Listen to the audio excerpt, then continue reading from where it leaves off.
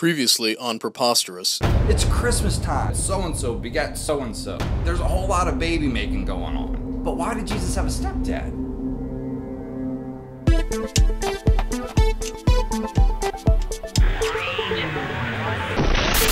Now, Matthew chapter 2, Jesus is born in Bethlehem. The reason that Bethlehem is significant is because it's fulfilling a prophecy in Micah 5 2, where it says the Messiah would come from there. And here in Matthew 2 is where we hear about the three wise men. Well, magi. And really, it doesn't say there were three of them. They came from the east, which means anywhere from current day Iraq, Iran, Afghanistan, Pakistan, India, China. The east covers a pretty big territory. But they came a long way and they came looking for the newborn king of the Jews. So, logically, where is the first place that you would look if you're looking for a king? The palace.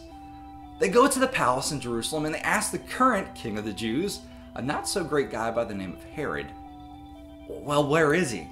This is all news to Herod, by the way, and not great news to hear. He's the king, and yet he's talking to very wise men who came a very long way to worship the new king. And it's not him. Herod tries tricking them to lead him to Jesus, but what God wants to happen happens. And God warns the wise men in a dream not to go back and tell Herod. And God sent a bright star to lead these astronomers to Bethlehem, to presumably the barn where Jesus was. They came looking for a king, a savior, the Messiah.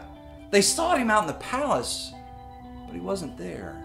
Instead, the King of Kings, the Lord of Lords, is laying in a feeding trough in a barn. The world didn't have room for him. And unfortunately, most of the world still doesn't have room for him. God is so much different than we often imagine him. The God who is among us is most often found with the least of these, in the humble places. Jesus was most often found out with people, and the types of people that no one else wanted to be around. That is God. That is Emmanuel. That is the God who is with us. May you seek out God during this Christmas time and may you find Him in the most unexpected places. But when you find Him, is there room for Him in your life? If you like Preposterous, make sure you share it with your friends. That is so helpful. And make sure you subscribe to us here on YouTube and you can follow us on Facebook and Twitter. As always, if you have any questions for me, you can tweet me at I am Preposterous or you can leave it in a comment down below. If you like Preposterous and would like to use it for your small group, you can sign up on our website. Again, the link is down below. I'll leave you with this last line from Charles Wesley Born thy people to deliver, born a child and yet a king, born to reign in us forever. Now thy gracious kingdom bring.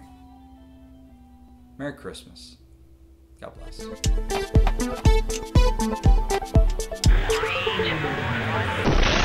There's a whole lot of babies being making. There's a whole lot of babies being making.